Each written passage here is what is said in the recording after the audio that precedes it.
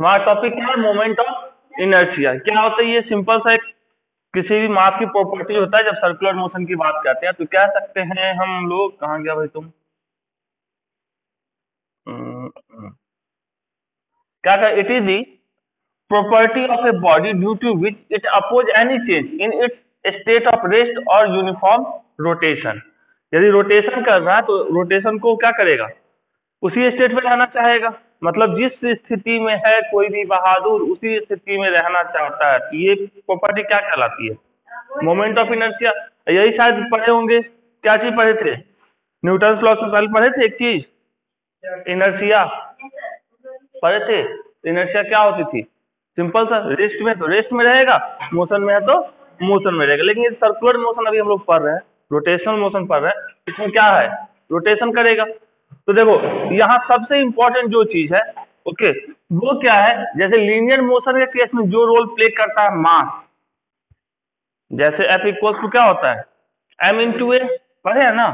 F is equals to M into A okay तो rotational motion में या circular motion में रोटेशनल मोशन में सेम रोल प्ले कौन करेगा? मोमेंट ऑफ़ इनर्सिया मतलब force force equals to M की जगह पर किसको यूज़ करेंगे? आई और एक्सलेशन को किससे लिखते थे? अल्फ़ा से लिखते थे? एक्सलेशन एंगुलर एक्सलेशन को अल्फ़ा नहीं लिखते थे। तो आई इंटू अल्फ़ा लिख सकते हैं। आई किसके जैसा रोल प्ले किया? मास की तरह।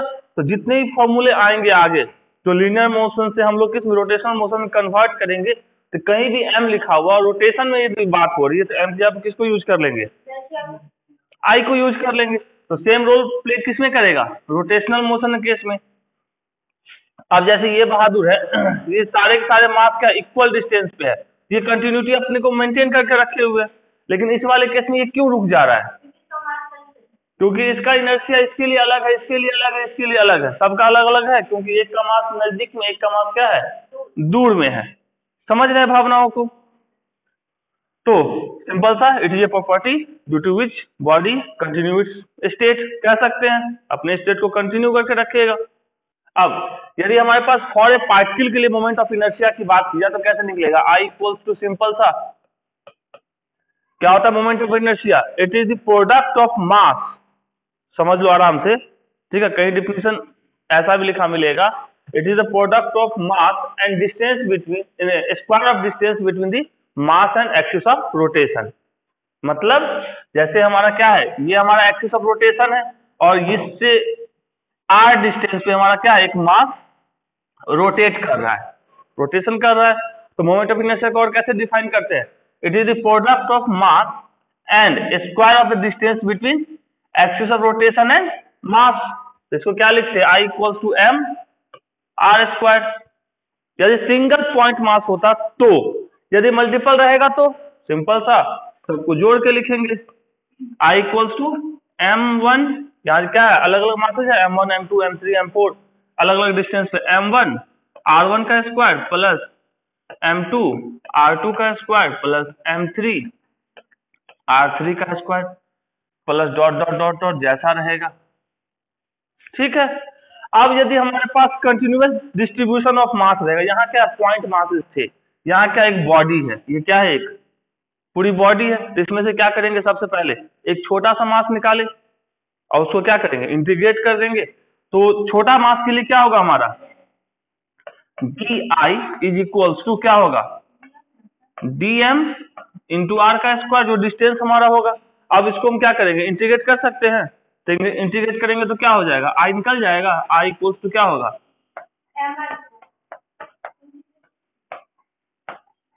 आर तो स्क्वायर को आगे रख लेते हैं। कर सकते हैं जैसा कंडीशन है वैसा अप्लाई करेंगे। लिख सकते हैं ना इसको? डी आई को इंटीग्रेट करेंगे क्या होगा? आई होगा।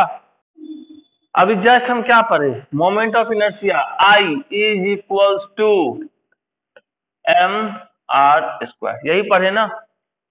तो एम का क्या होता है? आर मतलब डिस्टेंस मतलब किलोमीटर ये इसका क्या होगा? यूनिट क्या हो गया? K G metre. स्क्वायर अब डायमेंशन फॉर्मूला क्या लिखेंगे?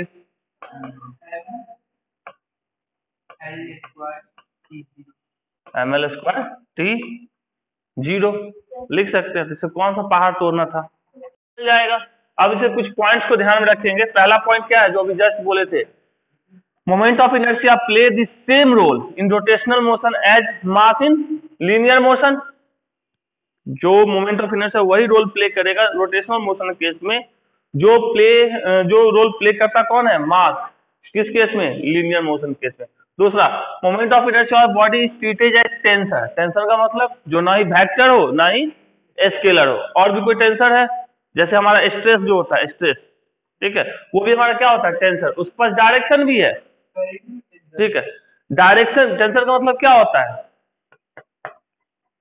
टेंसर का मतलब क्या? जिसके पास डायरेक्शन होगा, ठीक है प्लस मैग्नीट्यूड होगा।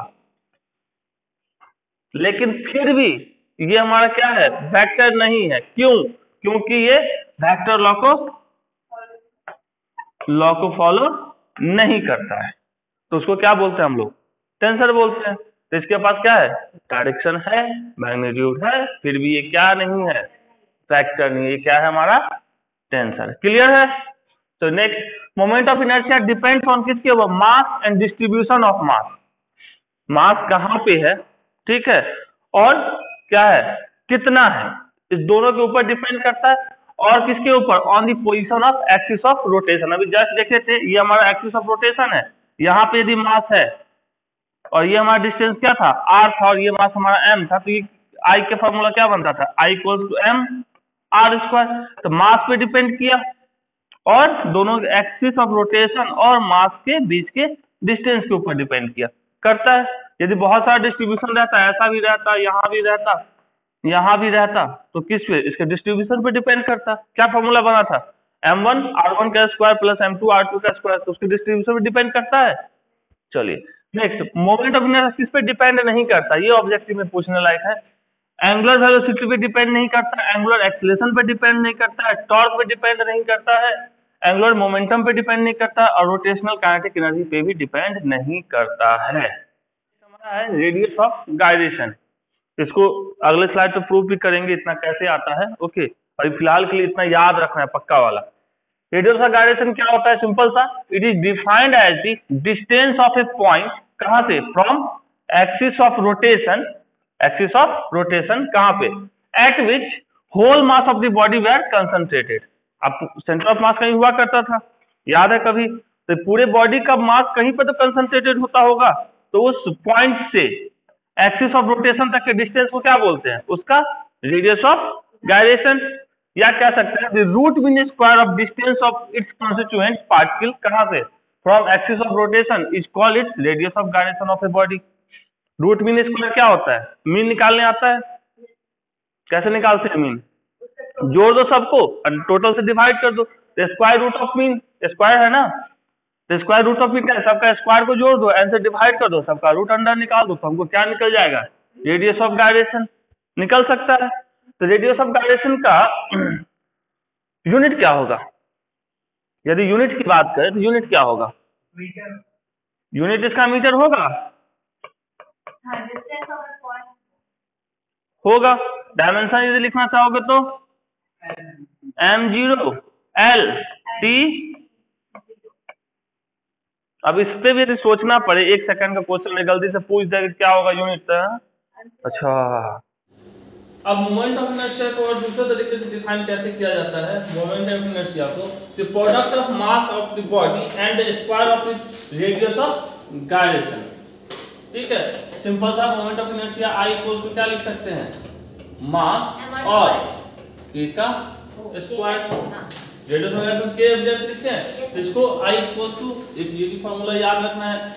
सिंपल से यहाँ से के इक्वल्स टू क्या लिखते? हैं आई बाई का रूट अंडर लिखा जा सकता है।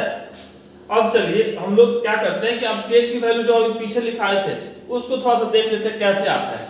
अब आई का हम लोग जानते हैं नंबर ऑफ़ मास यदि रहता आई निकालते तो कैसे निकालते? आई इक्वल्स टू क्या होता है?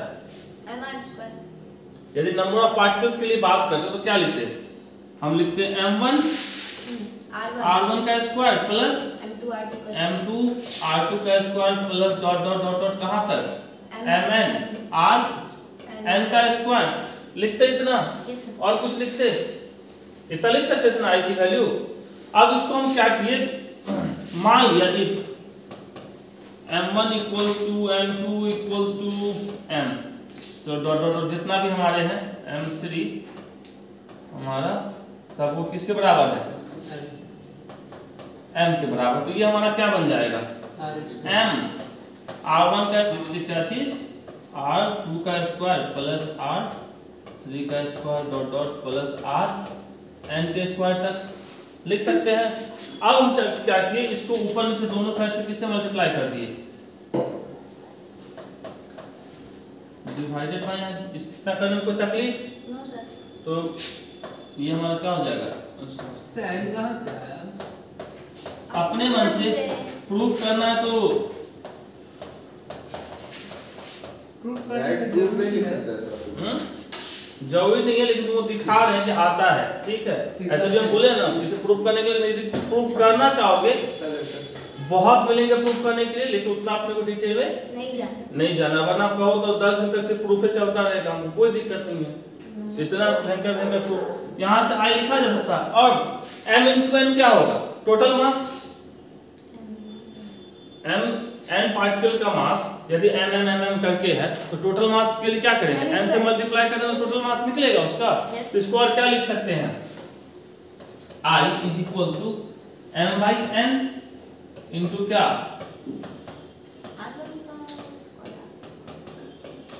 आर एन के स्क्वायर तक। लिख सकते हैं?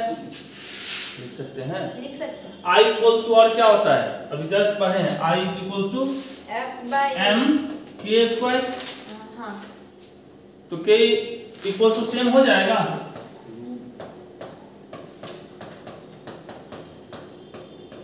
मतलब ओ हाँ।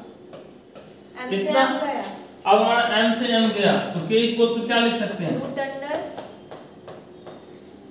आर वन का स्क्वायर प्लस आर टू का स्क्वायर प्लस आर थ्री का square plus dot dot dot dot R N का square divided by N N चलो एन नहीं लिखा है। लिख सकते हैं। तो अभी जस्ट यही निकाले थे ना, पिछले वाले में।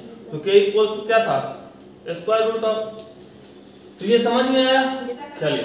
कुछ पॉइंट्स हैं, इससे रिलेटेड ऑफ़ गायरेशन किसके ऊपर डिपेंड करता है? ये डिपेंड करता है shape and size of body ठीक है, दूसरा position and configuration of axis of rotation ठीक है एक्सिस ऑफ़ रोटेशन कहाँ है? तीसरा डिस्ट्रीब्यूशन ऑफ़ मास किसके रिस्पेक्ट में? एक्सिस ऑफ़ रोटेशन के रिस्पेक्ट में? और डिपेंड नहीं करता है किसके ऊपर? मास ऑफ़ द बॉडी अब कहेगा मास ऑफ़ द बॉडी कैसे में डिपेंड करता है?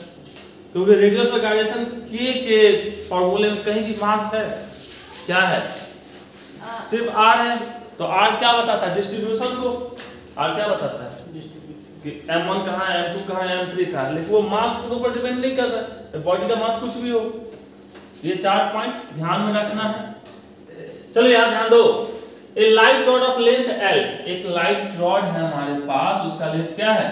L. L दिए हुए ठीक है। टू मासेस m1 और m2 attach to it's twin यहाँ पे हम एक मास लगा दिए कौन सा? M1 यहाँ पे एक मास लगा दिए m2 क्वेश्चन ये क्या है? हमारा जो क्वेश्चन करा वही करते हैं।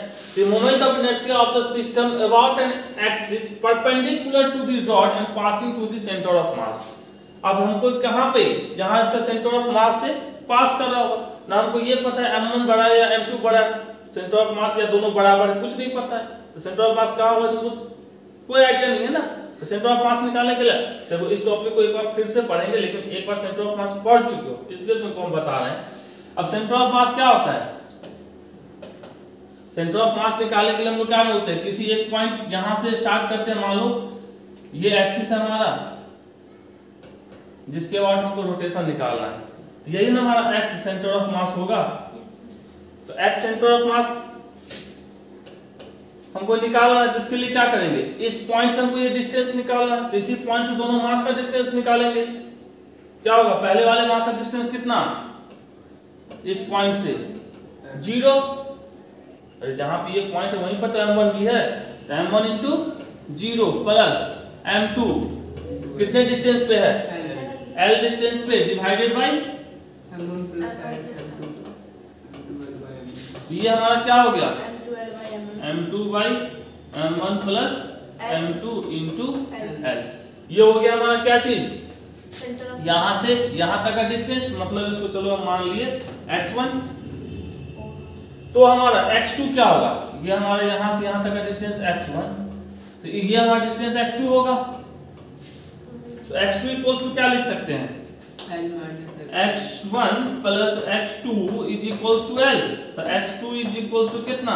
L l माइनस x1 होएगा? अब हम निकाल लिए क्या चीज़? X2 तो x2 इक्वल्स टू हो जाएगा is equals to l minus कितना? अरे l minus m2 divided by m1 plus m2 into l. इसको सॉल्व करेंगे, क्या आएगा? क्या आएगा? क्या आएगा? M1 bye m1 plus m2 into l होगा। अब हमको क्या निकालने के लिए बोल रहा है? मोमेंट ऑफ़ इनर्शिया कहाँ से? इस वाले एक्सिस से सेंटर ऑफ़ मास से। तो सेंटर ऑफ़ मास से दोनों का डिस्टेंस हमको पता चल गया। एक का डिस्टेंस कितना? X1 दूसरे का डिस्टेंस x2 तो मोमेंट ऑफ़ इनर्शिया क्या होता है? I इक्वल्स टू कितना? M1 R square. चलो x1 का square plus m2 X R two square. का x2 का स्क्वायर x1 x2 लेके चल रहे हैं तो। अब हमको x1 की वैल्यू पता है। X2 की वैल्यू पता है। M1 पता है m2 पता है तो i भी निकाल सकते हैं। क्या था हमारा? I इक्वल्स टू क्या जानते हैं हम लोग? M1 x1 का स्क्वायर प्लस m2 x2 का स्क्वायर m1 का m1 है जैसे x1 कितना आया था हमारा? M2 M1 M2 into L